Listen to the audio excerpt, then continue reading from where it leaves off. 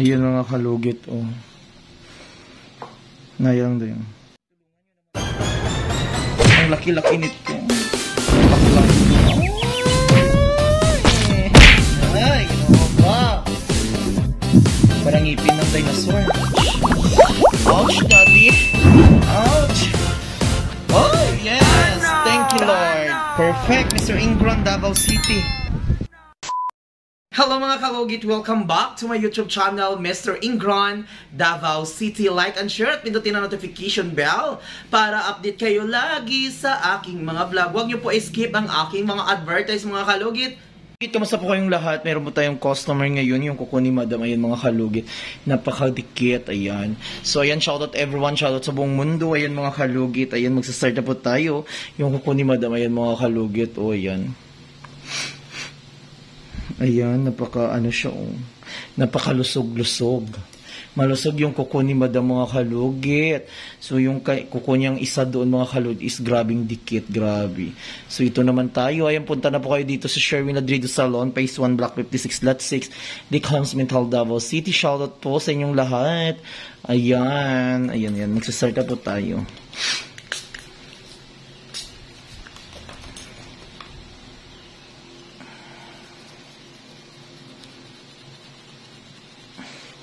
Kiss, kiss, kiss, kiss. Para yung buhay mo malinis.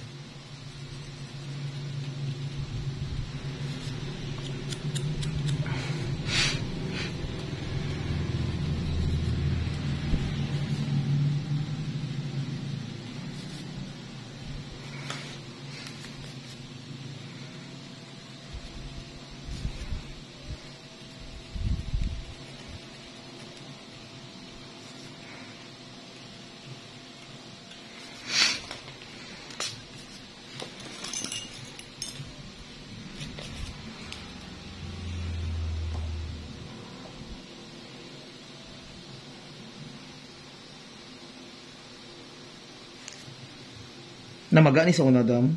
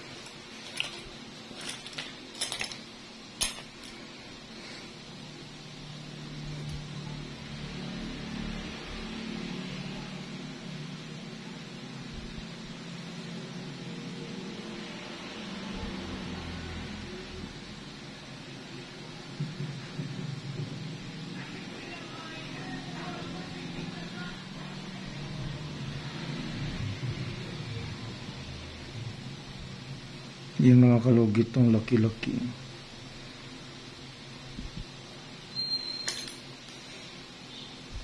Dako kayong good si madam. Eh. Wala dyan natanggal no? Putol-putol lang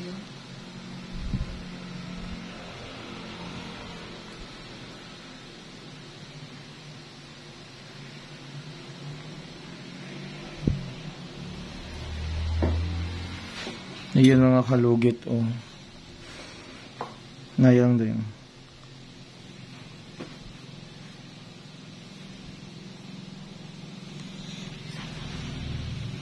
Sige go. Okay na. Lucky.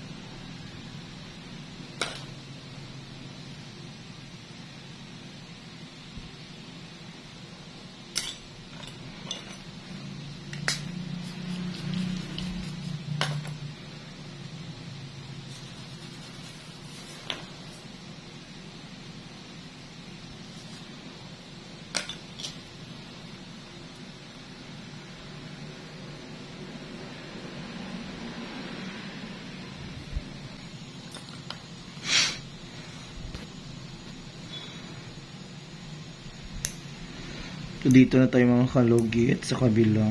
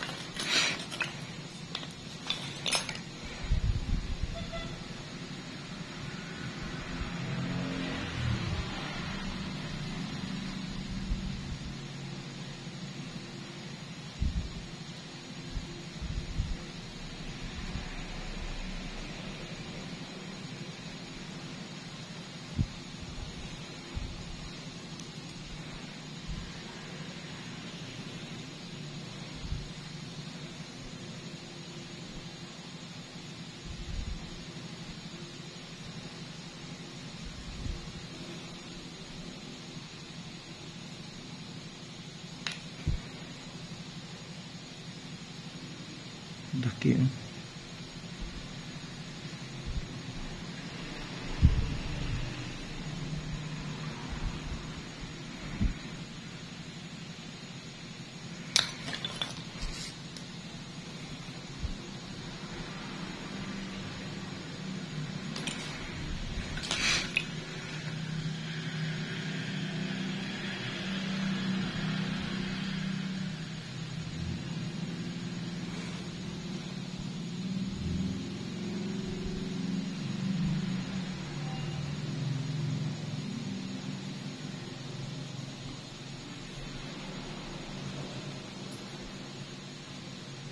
Diyos ko dahil, lucky-lucky girl. My God, mga kalugit, ang sarap. Uy, Diyos ko dahil. Ayan mga kalugit, oh. Perfect na perfect. Wow. Daming nakuha, nagpalinis kasi si madam sa iba. So, ayan, hindi nakuha lahat at namaga pa. Ayan, oh. Napakalalim ng kaniyang kuko. Hmm.